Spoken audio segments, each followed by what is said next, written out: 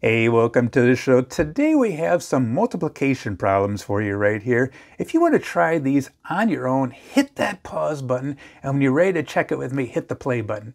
Okay, let's go ahead and begin. Remember, when we multiply a number like this, I'm going to take this bottom number and multiply it to this number here first, then this one second, and then that one third. And the best way to show you is to do it. So let's work together. 3 times 0, remember anything times 0 is 0. So 3 times 0 is 0, so I put the 0 right there. And then I start to work in this direction here. 3 times 8 is 24. So I put the 4 here and I put my 2 up there. Now remember, I'm going to add that 2. So now I go ahead and take 3 times 2 is 6 plus the 2 is 8. All right, you can put a little smiley face in there if you want to.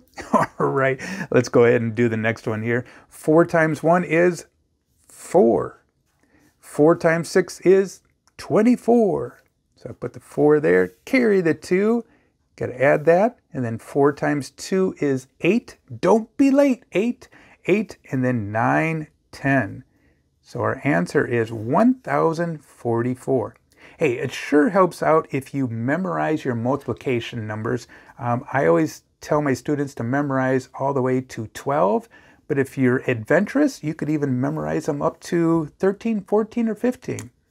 All right, let's go ahead and multiply our fives. I like fives, don't you? 5 times 5 is 25. Yeah.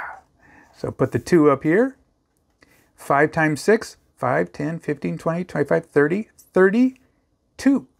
Put the 2 here, carry the 3. 5 times 3 is 15, 16, 17, 18. So our answer is 1,825.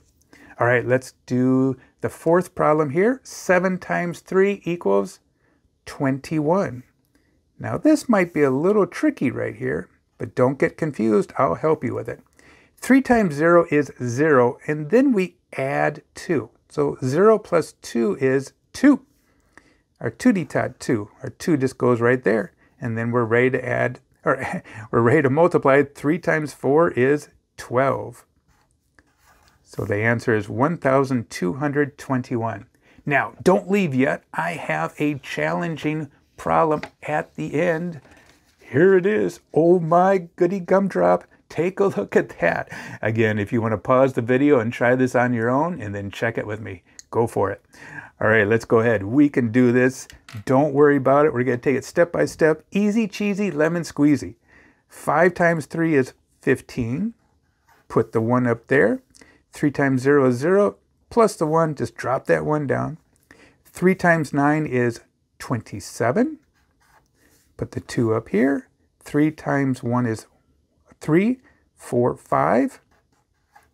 Then we have 3 times 7 is 21. Put the 2 over here. 3 times 8 is 24, 25, 26.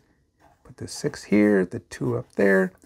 3 times 2 is 6, plus the 2 is 8. Don't be late, 8. I'll put a couple commas in here to see what this number is. That is a big number. How do you say a number like that? 8,615,715. Wow. I wish I had that many cookies. I, I, probably would get a tummy ache if I tried to eat that many cookies. Hey, thanks a lot for watching the show out. And I sure would appreciate it if you hit that subscribe button. Check out the other videos, and I have a couple other channels out there too. I hope you're having a great day, and we'll talk to you later. Adios. Goodbye.